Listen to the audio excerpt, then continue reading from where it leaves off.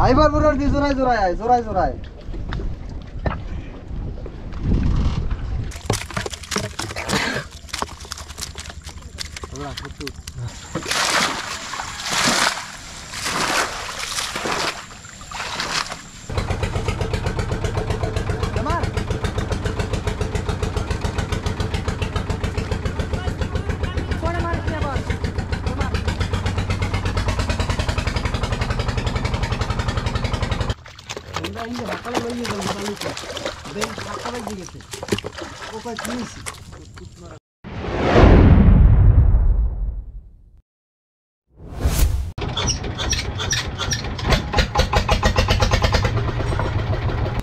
দীর্ঘ বাইশ দিনের মাছ ধরার যে নিষেধাজ্ঞা ছিল সেটা শেষ হলো গতকাল।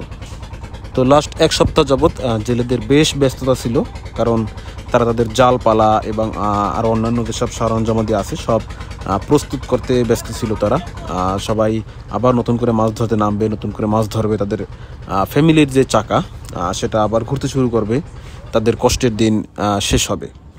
তো যে কারণে জেলেদের মনে বেশ আনন্দ আছে বলা যায়। যেহেতু অবরোধ শেষ হলো, তো ভাবলাম আপনাদেরকে কিছু মাছ না দেখালেই নয়। তো তারই ধারাবাহিকতায় আমরা চলে আসলাম আপনাদেরকে মাছ দেখানোর জন্য। প্রথমেই আমরা একটা গড়া জালে মাছ ধরা দেখব। এই ভিডিওটি বেশ কিছুদিন আগের করা ছিল। এবং এই ভিডিওটা যখন করা হয়েছিল তখন বেশ ভালো পরিমাণে গলদা চিংড়ি পাওয়া যাচ্ছিল। আমরা সবাই জানি, গলদা চিংড়ি অনেক মজার একটা মাছ। আর সবচেয়ে বড় কথা হলো নদীর গলদাটা সবসময় পাওয়া যায় না। পাওয়া যায়, কিন্তু খুবই কম। আমরা অ্যাজ ইউজুয়াল আমাদের বাজারে যেসব গলদা চিংড়ি দেখি তার অধিকাংশই হচ্ছে বিভিন্ন প্রজেক্টে চাষ করা মাছগুলো। তো নদীর অর্গানিক মাছটা আসলে খুবই কম আসে। তো প্রতি বছরই একটা নির্দিষ্ট সময় আছে তো যেই সময়টায় হচ্ছে নদীতে বেশ ভালো পরিমাণে গলদা চিংড়ি পাওয়া যায়। তো এখনই হচ্ছে সেই সময়টা। তো আমরা গলদা চিংড়ি দেখতেছি। বেশ ভালো পরিমাণে গলদা চিংড়ি পড়ছে জালে। আর জেলেরা ধরবে আমরা দেখব অবশ্যই। দীর্ঘ বাইশ দিন আসলে মাছ ধরা বন্ধ ছিল। তো এই বাইশ দিন পরে এখন হচ্ছে যেসব জেলেরা জাল ফেলবে বা মাছ ধরবে আশা করা যায় প্রথম দুই গুণ। দুই গুণ বলতে এদের হচ্ছে গণের হিসাব আছে। প্রতি মাসে পনেরো দিন করে গুণ আসে। আর সাত দিন পর পর গুণ চেঞ্জ হয়। তো মাসে এভাবে দুইবার টাইম আসে। তো ওই সময়টা মানে জোবার সময় অনেকে বলেন ভরা কোটাল, আমরা বলি জোবা। তো যে সময়টায় হচ্ছে নদীতে পানি হয়, প্রচুর পানি হয় পানির সাথে মাছও আসে। তো মাসে হচ্ছে সাত দিন এবং সাত দিন করে মোট চোদ্দ দিন বা পনেরো দিন গুণ থাকে। তো তো আগামী দুই গুণে হচ্ছে প্রচুর পরিমাণে মাছ পাওয়া যাবে, আশা করা যায়। যেহেতু দীর্ঘ বাইশ দিন মাছ ধরা বন্ধ ছিল স্বভাবতই নদীতে মাছ পেরেছে আশা করি।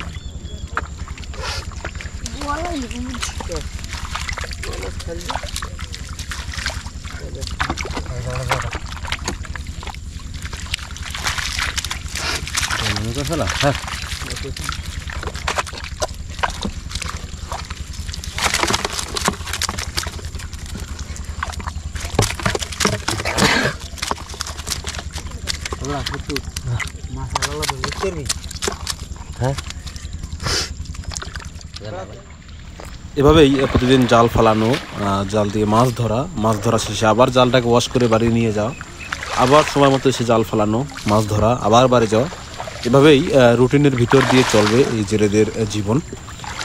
আর নদীতে সচরাচর বিভিন্ন ধরনের জেলেরা মাছ ধরে থাকে, বিভিন্ন ধরনের জাল, বিভিন্ন ধরনের সিস্টেমে বা বিভিন্ন ধরনের উপায়ে এরা মাছ ধরে থাকে। আমরা এতক্ষণ দেখলাম গড়া জালে চিংড়ি মাছ ধরা এরপরে আমরা বড় ফাঁসের জাল দিয়ে বড় নদী থেকে মাছ ধরাও দেখব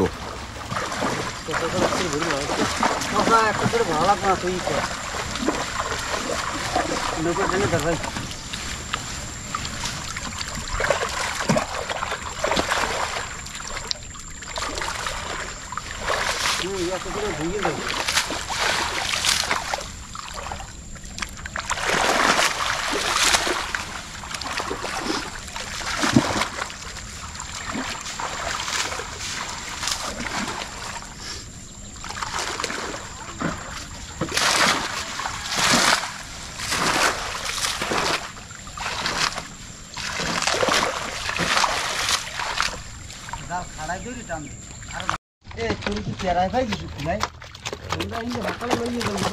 দেখুন তো কি সুন্দর মাছ একদম ফ্রেশ মাছ।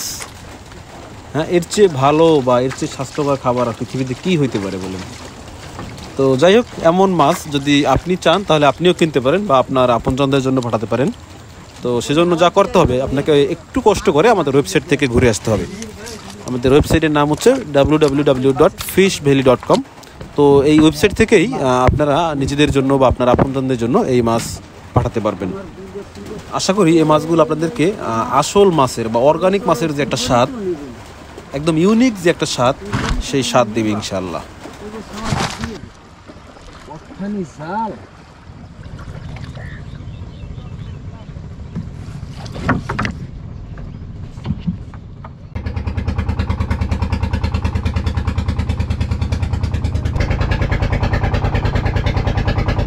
এবার এই জেলেরা নদীতে যাচ্ছে।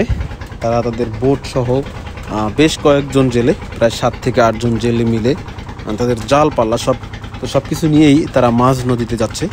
আর সেখানে গিয়ে প্রথমে হচ্ছে তারা জাল ফেলবে নদীতে। তো জাল ফেলবে, তারপর হচ্ছে দীর্ঘ চার থেকে পাঁচ ঘণ্টা বা ছয় ঘণ্টা অপেক্ষা করতে হবে।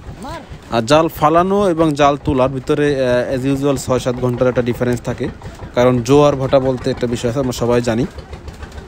তো জোয়ার ভাটার সাথে তাল রেখেই বা মিল রেখেই এরা নদীতে জাল ফেলে, আবার জাল তোলে।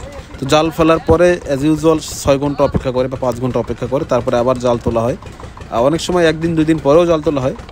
তো আজকে আমরা মূলত জাল ফেলব এবং নদীতে অপেক্ষা করব। তারপরে আবার যখন সময় হবে, আমরা জাল তুলবো। তো আশা করি এখানেও বেশ কিছু মজার মজার মাছ দেখতে পাবো দেখাতে পারব।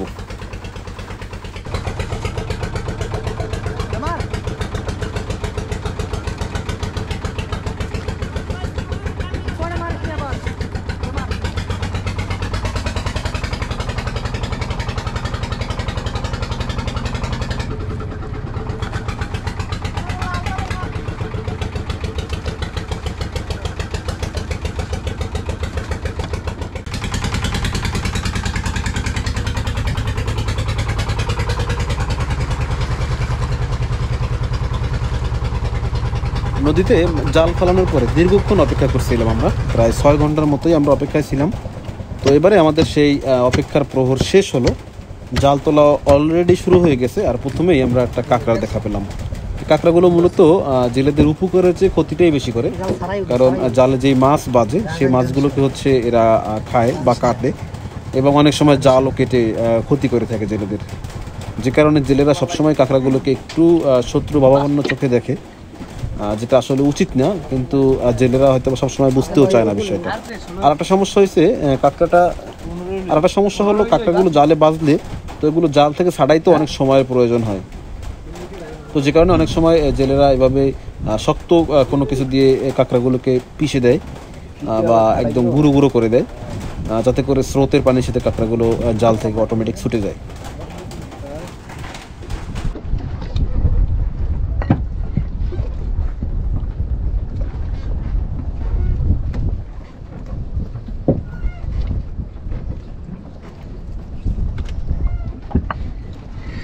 আমরা এই জালে আসলে হরেক পদের মাছ দেখতেছি। আর বিশেষ করে পোয়া মাছ, তারপর গাগা ট্যাংরা, আর হাতে এই যে মাছটা দেখতেছি, এটার নাম হচ্ছে চটাবেলে। চটাবেলে বেশ মজার মাছ। অনেকেই হয়তো বা এই চটাবেলে খুব বেশি পছন্দ করেন। তো আমরা এখানে বেশ কয়েক ধরনের মাছ পেয়েছি এবং আশা করি আরও পাবো। তো আপনাদেরকে সব মাছগুলোই দেখাবো ইনশাল্লাহ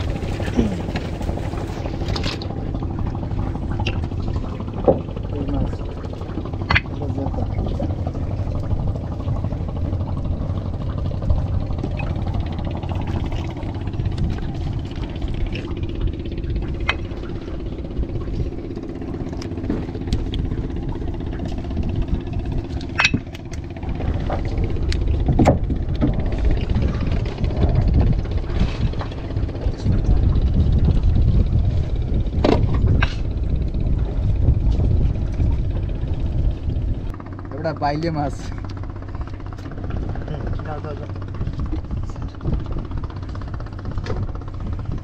আগা বাইলে আগা বাইলে বাইলে বাইলে বক্তব্য বেশি দিত বাইলে মাছ এই মামা সাতটায় চেক করালি বাইলে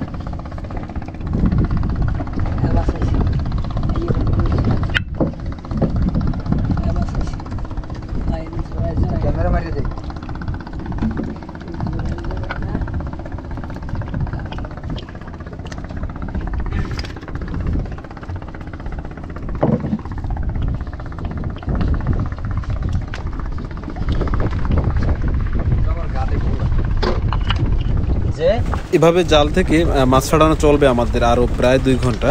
কারণ আমরা যে জালগুলো ফেলছি সব জালগুলোকে চেক করতে করতে আমাদের আরও দুই ঘণ্টা লাগবে প্রায়।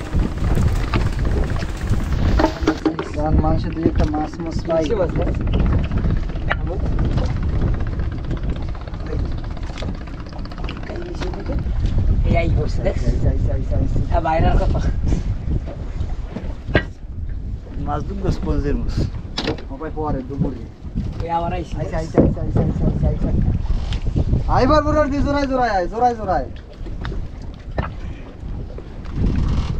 তো দর্শক আমরা এই জালেও প্রায় বিশ কেজির মতো পোয়া মাছ সহ বিভিন্ন প্রকারের মাছ পেয়েছিলাম। আর এই ভিডিওটি আজকে এখানেই শেষ করব। আর এমন ফ্রেশ মাছ যদি আপনাদেরও প্রয়োজন হয় বা আপনারা যদি আপনাদের আপনজনদের জন্য উপহার হিসেবে পাঠাতে চান তবে যোগাযোগ করতে পারেন আমাদের সাথে। আমাদের ওয়েবসাইট থেকে আপনারা অর্ডার প্লেস করতে পারেন। আমাদের ওয়েবসাইটের ঠিকানা হলো W dot fish valley dot com ওয়েবসাইটের লিঙ্ক এই ভিডিও ডিসক্রিপশনে দেওয়া থাকবে। অথবা আপনারা আমাদের হোয়াটসঅ্যাপে যোগাযোগ করতে পারেন। আমাদের হোয়াটসঅ্যাপ নাম্বারও ভিডিও ডিসক্রিপশনে দেওয়া থাকবে। তো সবাই ভালো থাকবেন, চারপাশে সবাইকে ভালো রাখবেন অ্যাডভেঞ্চার বিডি ও ফিশ ভ্যালির সাথেই থাকবেন। আল্লাহ হাফেজ।